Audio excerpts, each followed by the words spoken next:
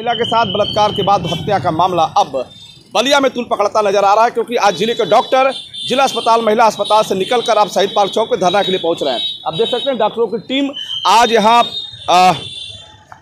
नगर में जो पदयात्रा है इनकी, मौन पदयात्रा डॉक्टर की हत्या को लेकर जो आक्रोश है डॉक्टरों में, आइए बात करते हैं उन डॉक्टरों से जो डॉक्टर आज के धरना में मौजूद हैं। आज का धरने का मुख्य उद्देश्य आज के धरने का ये जो कोलकाता में डॉक्टर की हत्या के बाद क्या रूप ले रहा है बलिया?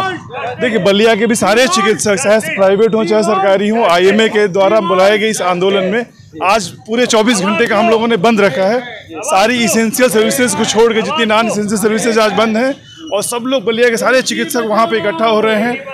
शहीद पार्क में और पूरे हम लोग 12 घंटे यहाँ धरने पे बैठे रहेंगे।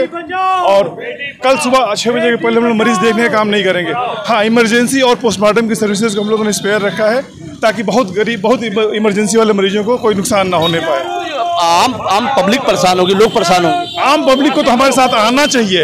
एक चिकित्सक जो अपनी ड्यूटी पे है और वहाँ पे कुछ दरिंदे घुस के उसके साथ बलात्कार उसका मर्डर कर देते हैं और सरकार इसमें कुछ नहीं कर रही है कोई उसको आत्महत्या बता रहा है और कोई ये कह रहा है कि वो साइकोटिक थी, वो मानसिक रूप से बीमार थी, वाह, हमारा चिकित्सक वहाँ ड्यूटी कर रहा है छत्तीस घंटे की मैंने कैसी कितनी कठिन ड्यूटी के बाद वो थोड़ी सी आराम करने गई, वहाँ उसके साथ कैसी दुर्दांत घटना हो गई और इसमें जो वहाँ का प्रशासन था और पुलिस का रवैया एकदम ही असंतोषजनक है। परसों हमारे, वो चौदह तारीख की शाम को रात में वहाँ पे जो हमारे जो कुछ भाई लोग जो प्रदर्शन कर रहे थे वहाँ पे गुंडे घुस के सात हज़ार की संख्या में गुंडे आए उनको मारा पीटा। ये क्या चल रहा है समाज में? हम लोग क्या करें? हम लोग जान बचाने के लिए काम करते हैं। और क्या हो रहा है कि हमारे हमारे ही जान को खतरा है। हम ड्यूटी कैसे करेंगे?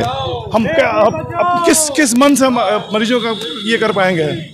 चलिए बहुत बहुत धन्यवाद। और बाकी बात करते हैं डॉक्टर बी के गुप्ता जी से। अच्छी नहीं। क्या लगेगा धरना का क्या रूप लेगा धरना क्या रूप लेगा?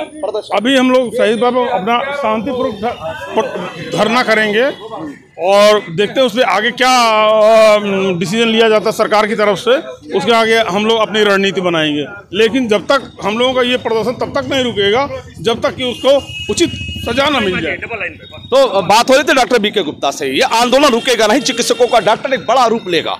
आज शहीद पार्क चौक पर धरना होगा, प्रदर्शन होगा, उनकी मांगे जो है उन पर विचार होगा। फिर हम आपसे जुड़ेंगे, तब तक लेते हैं जुड़ रहे हमसे बलिया। आजकल से मैं रोशन जायसवाल, नमस्कार।